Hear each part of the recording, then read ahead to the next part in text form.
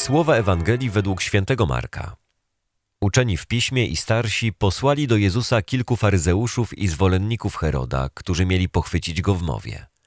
Ci przyszli i rzekli do niego: Nauczycielu, wiemy, że jesteś prawdomówny i na nikim ci nie zależy, bo nie oglądasz się na osobę ludzką, lecz drogi Bożej wprawdzie nauczasz. Czy wolno płacić podatek Cezarowi, czy nie? Mamy płacić, czy nie płacić? Lecz on poznał ich obłudę i rzekł do nich: Czemu mnie wystawiacie na próbę? Przynieście mi denara, chcę zobaczyć. Przynieśli, a on ich zapytał: Czyj jest ten obraz i napis? Odpowiedzieli mu: Cezara. Wówczas Jezus rzekł do nich: Oddajcie więc Cezarowi to, co należy do Cezara, a Bogu to, co należy do Boga. I byli pełni podziwu dla niego. Na rzymskich monetach były odbite wizerunki Cezara. Władca nadawał im wartość i wyciskał na monetach własną podobiznę, aby zaznaczyć, że wszystkie pieniądze znajdujące się w obiegu są jego własnością.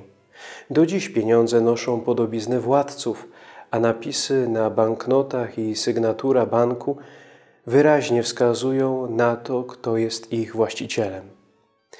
Oddajcie Cezarowi to, co należy do Cezara, a Bogu to, co należy do Boga. To wezwanie ma podwójne znaczenie. Po pierwsze jest zachętą do dobrowolnego ubóstwa. Wiem, że głoszenie takich poglądów w świecie, który lansuje pogoń za pieniądzem, bogactwo i zbytek, jest w uszach wielu słuchaczy śmieszne i głupie.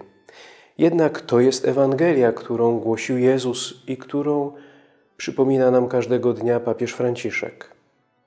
Wyzbądźmy się wszystkiego, aby zyskać to, co najcenniejsze Boga, który jest naszym zbawieniem i naszym wszystkim. Jest jeszcze jeden aspekt.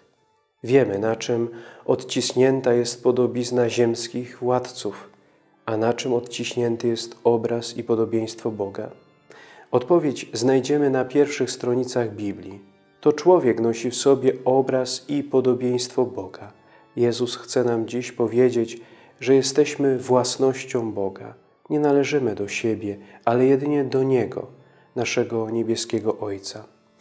Diabeł chce nas skupić za plik pieniędzy, parę chwil pozornego szczęścia, za przyjemności, które szybko obrzydną.